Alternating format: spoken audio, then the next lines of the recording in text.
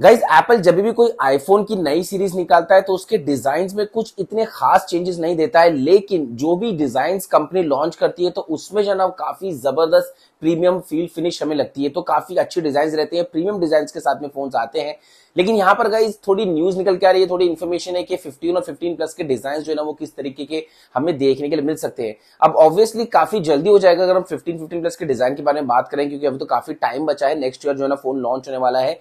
लेकिन गाइज़ यहाँ पर एक हल्का सा आइडिया हो जाता है कि किस तरीके का फ़ोन दोस्तों हमें देखने के मिलेगा। अब यहाँ पर दोनों ही फ़ोन से रिलेटेड या पूरी सीरीज़ से रिलेटेड मैंने प्रॉपर वीडियो बना के डाला हूँ। अगर आपने वीडियो नहीं देखा तो यहाँ पर, यहाँ तो यहाँ पर आई बटन में मैं लिंक दे दूँगा। ज़रूर से वहाँ पर जाके चेक करना। मैंने अब तक जितने भी स्पेसिफिकेशन आए हैं, सबके बारे में बताने की कोशिश किया और अगर आप चैनल में नए आए हो तो प्लीज़ चैनल को सब्सक्राइब कर लो बेल नोटिफिकेशन को ऑल पे रख लो। अब यहाँ पर डिज़ाइन के बारे में बात करूँगा तो सबसे पहली बात आती है इनके फ्रेम्स के बारे में। यहाँ पर दोस्तों, ज़्यादातर लीक्स यही है कि इस बार जो है ना फिफ्टीन सीरीज़ में हमें टाइटेनियम फ्रेम देखने के लिए मिलेगा। मतलब अगर कंपेयर करोगे हम स्टेनलेस स्टील से, जो कि अभी प्रो सीरीज़ में देखने के मिलता है, जो फ्रेम्स है, उसके हिसाब से गाइस काफ़ी एक्सपेंसिव रहते हैं टाइटेनियम फ्रेम्स लेकिन यहाँ पर अगर मैं आपको एक चीज़ बता देता हूँ एक्सपेंसिव तो रहते ही है, लेकिन काफ़ी स्ट्रॉन्ग और लाइटर भी रहते हैं विच मीन्स के आज के टाइम पे प्रो और प्रो मैक्स जो वेट कैरी करते हैं उससे काफ़ी ज़्यादा हल्के होंगे अगर टाइटेनियम फ्रेम्स आ जाते हैं आईफोन 15 सीरीज़ में तो, तो यहाँ पर ऑब्वियसली एक्सपेंसिव रहते हैं लेकिन क्वालिटी भी अच्छी मिल रही है। लेकिन गाइस यहाँ पर एक और चीज़ बता देता हूँ मेजोरिटी ऑफ़ द लीक्स ये है कि जो टाइटेनियम फ्रेम है वो सिर्फ़ प्रो और अल्ट्रा डिवाइसेस के लिए रहेंगे। मतलब 15 15 प्लस में हमें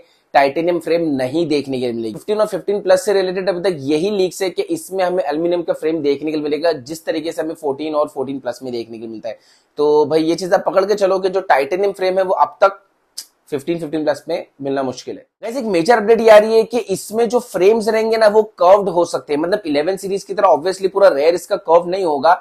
इसमें जो एजेस है गाइस सिर्फ़ वही कर्व्ड रहेंगे मतलब स्लाइटली कर्व्ड रहेंगे। अगर आप कंपेयर करोगे 14 सीरीज़ से तो उसमें हमें शार्प एजेस देखने को मिलते हैं। लेकिन यहाँ पर जो फ्रेम्स रहेगी, वो कर्व रहेगी अपने फ्रंट और रेयर में, जो कि स्लाइटली कर्व्ड रहेंगे, ज़्यादा नहीं रहेंगे। तो ये एक मेजर चेंज कंपनी कर सकती है।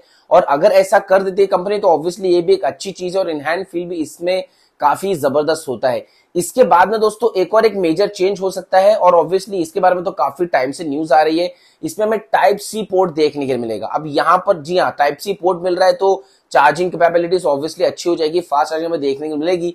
लेकिन गाइज़ यहाँ पर मैं एक चीज़ बता देता हूँ कि इसमें हमें उतना फास्ट डेटा ट्रांसफ़र नहीं मिलेगा जितना आज के टाइम पे हम एक्सपेक्ट कर रहे हैं। जैसे कि बताया जा रहा है कि 20 टू 40 जीबीपीएस का फास्ट डेटा ट्रांसफ़र हमें देखने को मिलेगा, लेकिन ये जो डेटा ट्रांसफ़र है, ये आपको प्रो और अल्ट्रा सीरीज़ में ही मिलेगा। मतलब 15 और 15 प्लस में भी आपको टाइप सी तो मिलेगा ही, लेकिन डेटा ट्रांसफ़र आपको वही 480 एटी एमबीपीएस का मिल सकता है, जो कि आज के टाइम के आईफोन्स में हमें देखने के लिए मिलता है।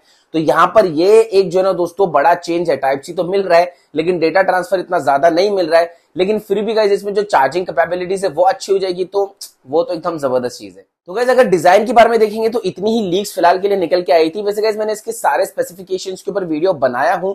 सारी ही आईफोन 15 और आईफोन अल्ट्रा से रिलेटेड वीडियोस में यहाँ पर, या तो यहाँ पर आई बटन में दे दूँगा। अगर आपने नहीं देखी तो वन बाय वन ज़रूर से चेक करो। मैंने प्रॉपरली कैमरा हार्डवेयर सारी चीज़ों के बारे में बात किया हूँ। तो आपको जो ना वीडियो ज़रूर से पसंद आएगी। तो गाइज़ यहीं तक था मेरा वीडियो। आपको वीडियो कैसा लगा मुझे ज़रूर से बताना। प्लीज़ लाइक कर दीजिए वीडियो को। हम लोग इंस्टाग्राम पे भी फॉलो कर दीजिए। क्योंकि वहाँ पर भी गाइज़ मैं रील्स डालता रहता हूँ ऐसे ऐसे शॉर्ट इन्फॉर्मेशन से रिलेटेड तो आपको जो है ना वो बहुत ही बेनिफिशियल रहेंगे। चलिए दोस्तों इनशाला मैं मिलता हूँ आपसे अपने अगले वीडियो में। जय हिंद।